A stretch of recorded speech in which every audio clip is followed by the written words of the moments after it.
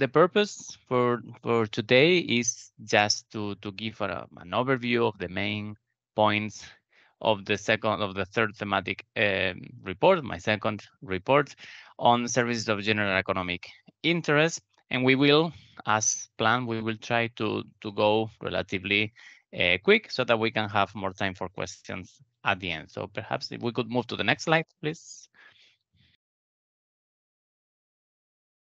So the the idea is to showcase that under the current rules on services of general economic interest or SGEI, um, significant financial support can be granted to pursue social economy objectives. So what we aim to do with this presentation is to clarify what is an SGEI, what is what is that concept, and whether the granting of financial support uh, first amount to amounts to state aid under Article 107, paragraph 1 of the of the treaty, and secondly, if it is a state aid, does it have to be notified to the European Commission? And thirdly, if so, what are the conditions that the Commission will observe when reviewing notifications for SGEI support uh, in the form of in the form of state aid for the compensation or for the provision of, of public services or SGEI. And given the the the, the thematic uh, core of this of these three workshops, we will try to specify the conditions and the criteria under the current legal framework, specifically targeting social services and the social economy. And we will discuss the criteria together with the relevant cases from the Commission's practice and where available the case law of the court of the courts. Uh, can we move to next slide, please?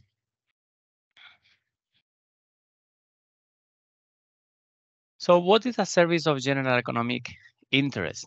Even the court and the commission have uh, referred to them sometimes as public services. Roughly, it's what we understand in many of our legal orders as public services.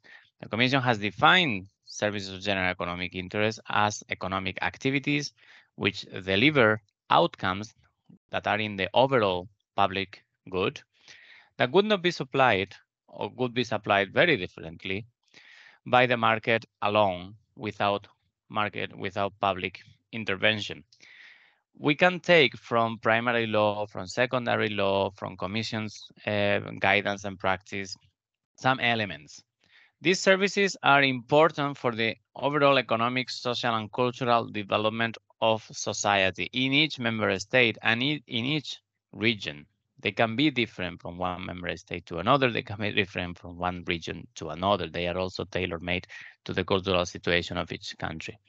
Examples include healthcare, education, public transportation, social housing, water supply, childcare services, or telecommunication, to mention but, but a few. According to the, the law and also the case law, they should be available and accessible to the entire population. They are also a fundamental right, the access to service of general economic interest under the Charter of Fundamental Rights, Article 36. And the case law has clarified that the entire population doesn't mean the entire population in a given country. It can be then a particular group, particularly those in need or those most vulnerable in a given in a given society. The case law also clarifies that these services must carry out a special task in the public interest. So member states have to explain why a particular service is a service of general economic interest and why it's a special service, not just any services provided by the market. Therefore, member states must clarify the reasons why the service in question differ from other services. However, um, public authorities and the member states enjoy a large margin of discretion in defining what is a service of general economic interest. The European institutions, and particularly the Commission and the Court, will already review whether there has been a manifest error in the definition. And there are cases where the Commission found that there was a manifest error. For instance, to consider tourism promotion as a service of general economic interest, the Commission said, and rightly so, why is this service uh, so special if it's carried out essentially everywhere by, uh, by, by the market? Next slide, please.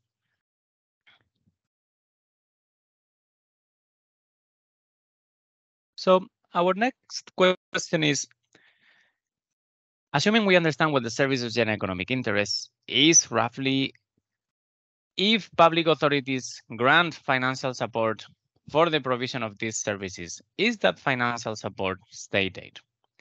And here we go back to the discussions we had in our first seminar the compensation will have to comply with the criteria of Article 107, paragraph 1. So all the criteria that we describe.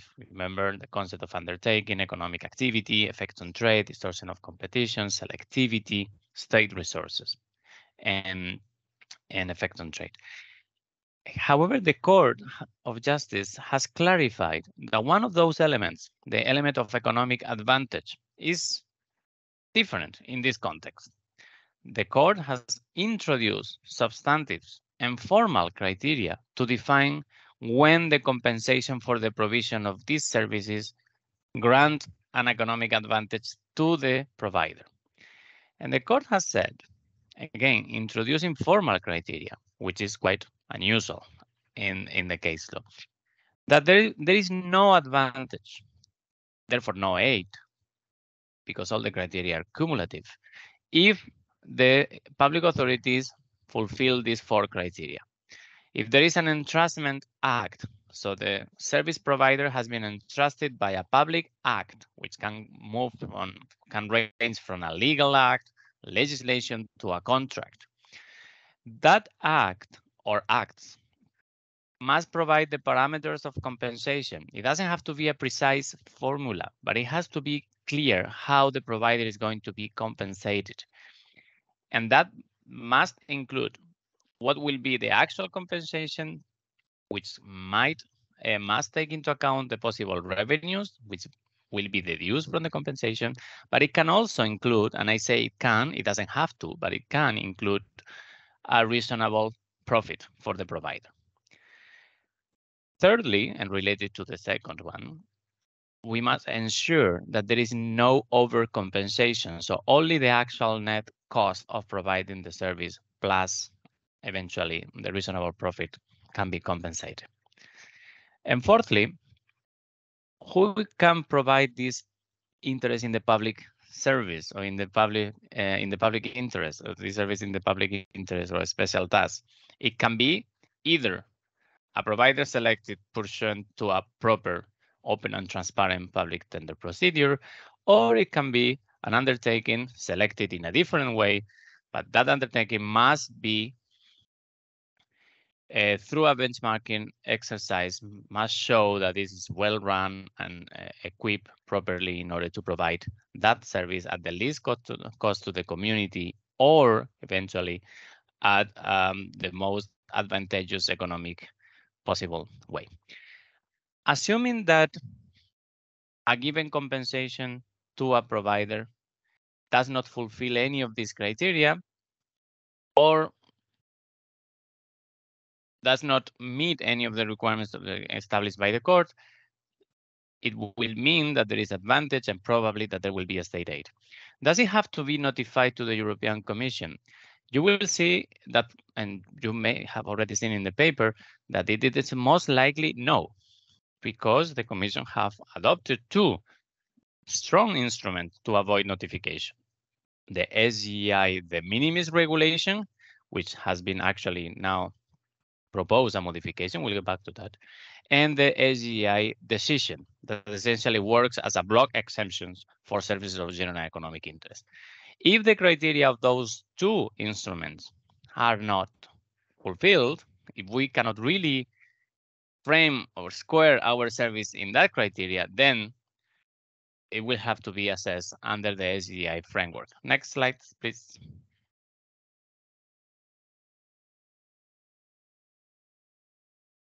So very briefly, let's review the main elements of the de minimis regulation in, the, in this context and the SGI decision.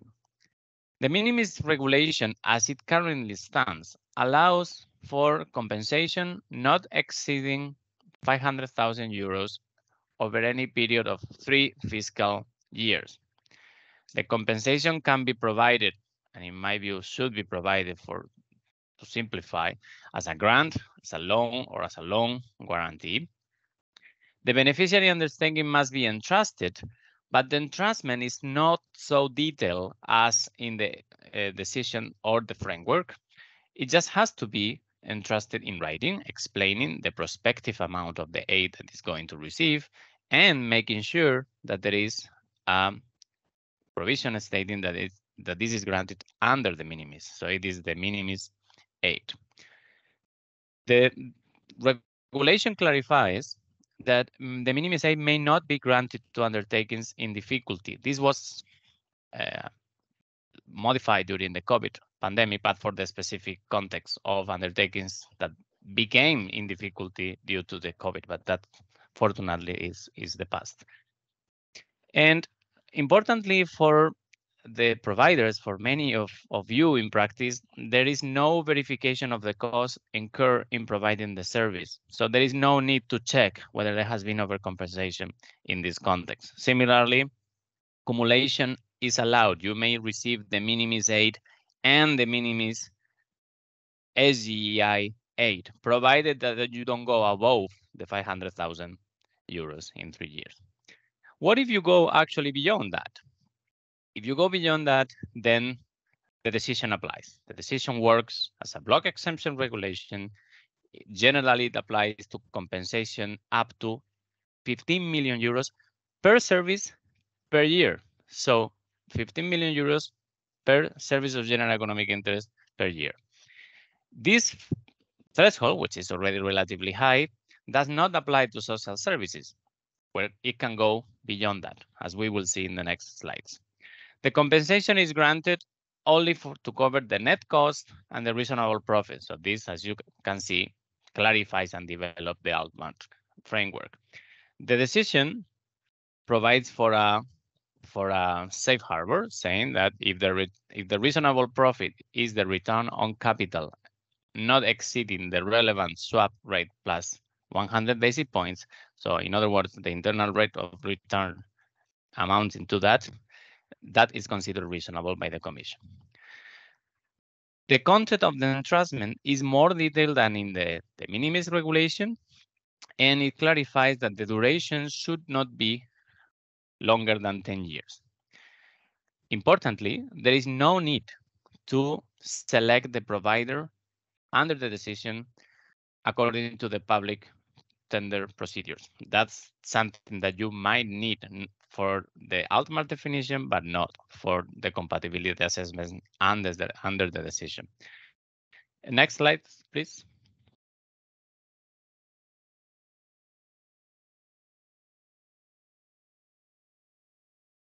Thank you. If the compensation doesn't fit the criteria, and this is, is going to be strange in the case of social services, because there is no threshold for social services. So the application of the threshold for compensation of social services, as we will see. So the framework, the SGI framework is probably not so relevant for our purposes. But for just for, for completeness, if compensation for the provision of a given service of general economic interest cannot be justified under the regulation, de minimis, or the decision, then it can be justified under the framework. So it can go beyond 15 million euros, but here the public service must be clearly not a service that the market can provide. It can also, it must also comply with the public procurement rules. It must have some incentives for quality and for efficiency. So precisely because these services are very large and very significant, the conditions are tougher for the uh, for their compensation. It has to be a detailed compensation, a detailed entrustment, and the duration can be longer than 10 years, but it It can refer to the depreciation of the main assets involved. But again, this is, in my view, not so relevant for so for most of this of your of your social uh, services for the reasons that we will see in the next slide. Next slide, please.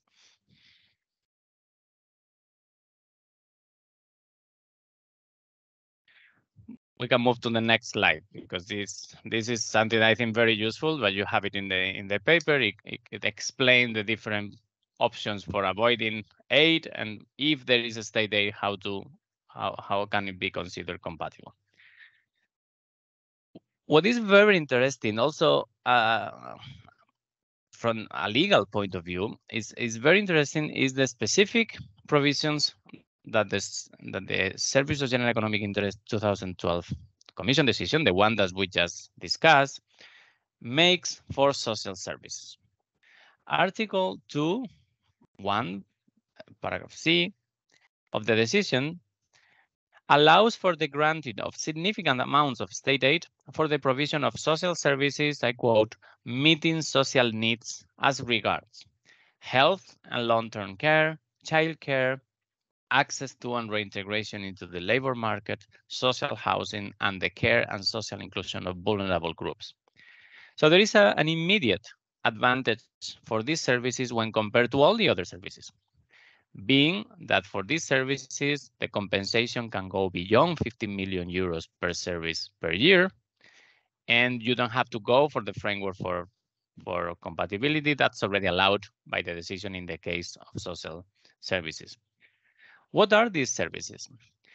The list, precisely because it works as a block exemption regulation, must be exhaustive. It cannot be open-ended. At the same time, the Commission has been flexible enough to allow for the interpretation of this provision, particularly the last one. And the Commission, for instance, has clarified that meeting social needs doesn't mean that only if mm, people with less resources are involved, these services can be provided. For instance, childcare services can be provided even if not everyone is under a situation of economically disfavored um, recipients.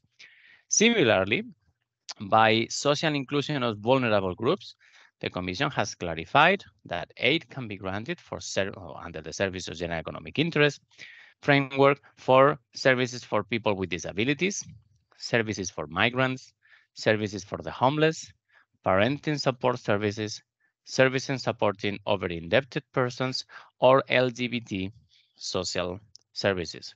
Similarly, and uh, this might be particularly relevant for many of you, social and work integration enterprises also qualify under the provision of access to and reintegration into the labor market. So again, the Commission has tried to strike a balance between the necessary legal certainty that the block exemption must provide, and at the same time, the flexibility and the possibility to interpret the decision. One question that you might be wondering, what if my social services is not really, doesn't really fit within this? Then you apply the commission decision general provisions. It can still be granted, but then the 15 million euros per service per year will will apply. And if you go beyond that, the framework will have to be used. Next slide, please.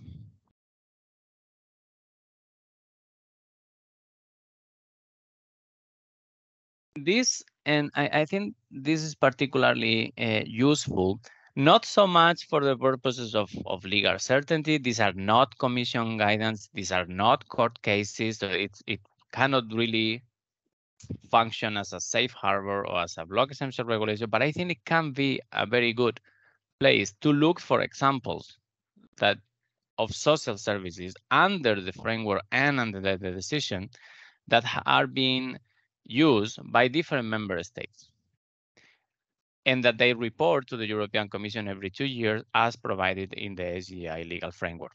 So for instance, in Germany, the compensation of wage cost for um, older workers to cover the personal cost of social enterprises for socio-educational uh, support of long-term unemployed or to maintain and create rehabilitated low-cost social housing, that's considered social services under the article that I just mentioned. So it can be beyond 15 million euros without a notification and, and under the decision. Same for Greece. Actions to integrate young people with disabilities into employment, organization of camps for vulnerable groups of the population, or support for entrepreneurship skills of individuals from vulnerable groups have also been considered social services under the SGI decision. In the case of my own country, Spain, to cover the, the wage costs of staff who provide support to vulnerable people, persons uh, integration process, aid to encourage the employment of vulnerable people for the beneficiary undertakings, or support for integration people with disability, for integrating people with disabilities or with mental health disorders. Here there was another example. It was a, a, a service of general economic interest to compensate an energy company for providing electricity for vulnerable people. So essentially to pay the bill of the energy company over a certain period for some groups was considered as SGEI. In Poland, creating and providing rented or cooperative housing for persons of moderate incomes, social housing rental services entrusted by municipalities to social, to social housing association, or subsidies for meals sold in so-called milk bars are also one of those services that can be compensated under the decision. In Sweden, shelter employment by Samhall, there was a commission decision that we discussed in the first uh, seminars, you may remember. That is also clearly uh, a social service. Compensation for organizing and providing housing for the elderly, social housing, again, also included in the decision or compensation to cover the cost of subletting by higher, higher education institution. Here, you see that the meeting social needs doesn't necessarily mean, as it was explained by the Commission in the case of childcare, in, in this case of higher education institution, it doesn't necessarily mean that it may not target a particular vulnerable group, provided that the member state justifies and explain why that group deserve this qualification. Next slide, please. And some more concrete examples can be found uh, in the evaluation, the recent evaluation that I uh, encourage everyone to, to read because it's, it's, a, it's quite an interesting document. And also the, the input provided by social entities, by the Economic and Social Committee, and by other stakeholders uh, is particularly relevant in our context. So the Commission published this evaluation recent, very recently. Uh, in, in the evaluation has some information that is, I would say, particularly interesting for our purposes. For example, concerning the notion of state aid that we discussed in the first uh, seminar, the, the evaluation clarifies something that can be already seen in some guidance document and also in some commission decisions, that there is no state aid because there is no effect on trade if a given beneficiary, which is the case of social entities rather often, supplies goods or services to a limited area and is unlikely to attract customers from other member states. And it cannot be foreseen that the measure will have the effect on, on uh, of cross-border investment or establishment. You may remember that we discussed the example of the Santa Casa de Misericordia de Tomar in Portugal, where it was considered that social service, particularly health, health related care services provided by that entity did not amount to state aid, and therefore, if there is no state aid, you don't need to justify it under the Services of General Economic Interest legal framework because there was no effect on trade. The, the Santa Casa de Misericordia was catering for the local population. There were no international investors. There was no, that it was actually remote from Lisbon or from other places that you could have some international customers or clients or, in the case, in this case, patients. So it was a, an example, a good example of the lack of effect on trade. Evaluation also makes some uh, relevant clarifications concerning social housing and reasonable profit. The concept of social housing as such is not uh, considered an obstacle. It's, it's not unclear. However, there have been some concerns about limiting, limiting the scope that public authorities may decide to give to social housing. In other words, does it have to be a group that is vulnerable by reason of the economic means or, or and what is the, the, the right group? There was a, a very uh, interesting and helpful decision of the European Commission concerning social housing in the Netherlands, concerning WOCOS that, that went up to the court and was validated, where you have information on how that can be defined. Um, secondly, several public authorities mentioned that they have experienced difficulties with the concept of reasonable profit that we discussed before. You may remember it's one of the criteria included in the decision, also in the framework. It comes from the case law of the court in Altmark. However, it might not be easy to apply in the case of social entities.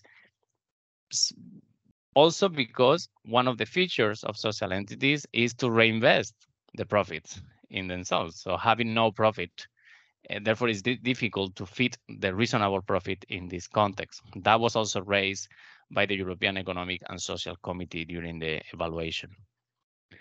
Thirdly, there are some cases where concerning the, the, the concept of advantage and selective uh, advantage and also other provision other concepts included in the in the evaluation such as single undertaking there were doubts about the concept of single undertakings. In, the, in this case, the draft reform of the minimis regulation provides, as admitted by the European Commission, provides clarification of what is to be considered as a single undertaking that comes from the case law, the recent case law of the, of the court.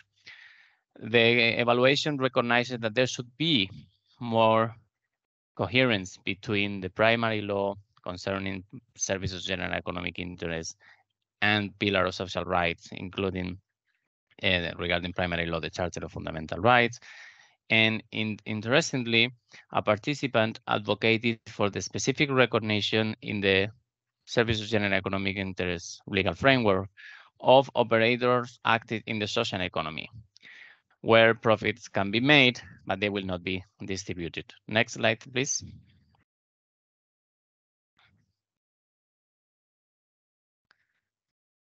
So thank you. So I'm, I'm trying to to live up to the commitment to finish within uh, uh, half an hour so we have some time for discussion. I think the the current rules, the, the legal framework concerning services of general economic interest or public services provide significant opportunities for funding in the case of social economic entities. As opposed to all other sectors, it has been recognized as a, a specific area where public funding can be particularly important. Therefore, there is more flexibility clearly than in other sectors. There are there remains uncertainty as the Commission recognizes in the evaluation concerning important concepts such as economic activity, effect on trade, or reasonable profit. And this may explain why, as actually our our uh, quiz this morning showed, why the service of general economic interest uh, is not used to its full potential yet. And that's something that perhaps after this framework and after this workshop, we can we can perhaps do um, use uh, more.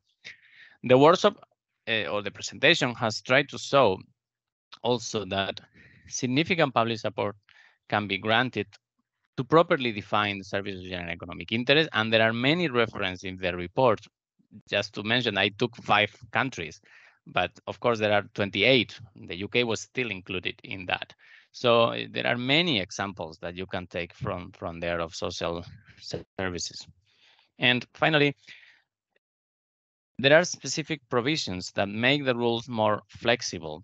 And the European institutions, and particularly the, the Commission, I must say, they, they are fully aware of the benefits uh, as, the, as the Social Economy Action Plan also reveals. They are fully aware of the benefits of the social economy. And I think there is a partnership, and we will get back to that, um, in place here that can um, be fully exploited for the benefit of social economy uh, entities and more generally to social economy uh, altogether. So thank you very much for your attention and happy to take questions.